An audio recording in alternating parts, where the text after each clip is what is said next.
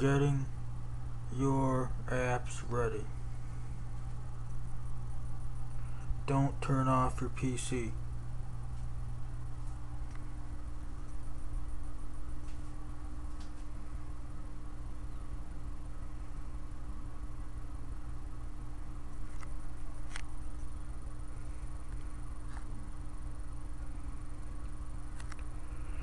So we're uh, putting on Windows 8.1 here.